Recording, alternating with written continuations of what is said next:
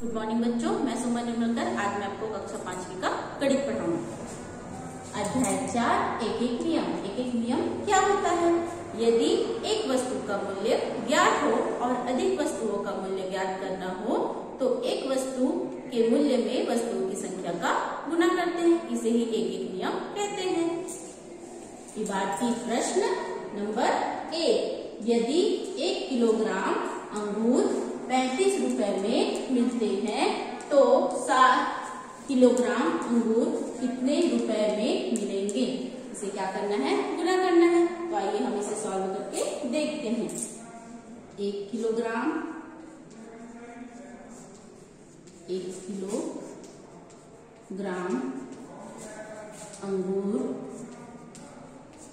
का मूल्य बराबर पैंतीस रुपए। इसलिए सात किलोग्राम सात किलोग्राम अंगूर का मूल्य बराबर पैंतीस गुणित सात। सात का गुना हम किससे करेंगे? पैंतीस से। सात पंचे सात का पढ़ा पहले किससे पढ़ेंगे? पाँच बार। सात पंचे पैंतीस। पैंतीस का पाँच। हासिल आई तीन। सात का पढ़ा कितने बार पढ़ेंगे आप? तीन बार। सात या इक्कीस। इक्कीस में तीन जोड़ेंगे तो कितना आएगा? चौबीस। चौबीस। तो आंसर कितना आया? इकाई दहाई सैकड़ा दो सौ पैतालीस रुपए। तो आंसर हम लिख देंगे। आंसर बराबर सात किलोग्राम,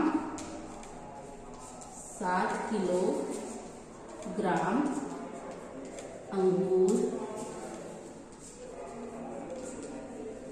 दो सौ पैतालीस रुपए में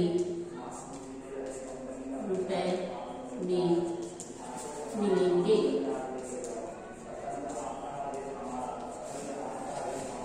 जैसे मैंने सवाल समझाया है, वैसे ही बुक से ध्यान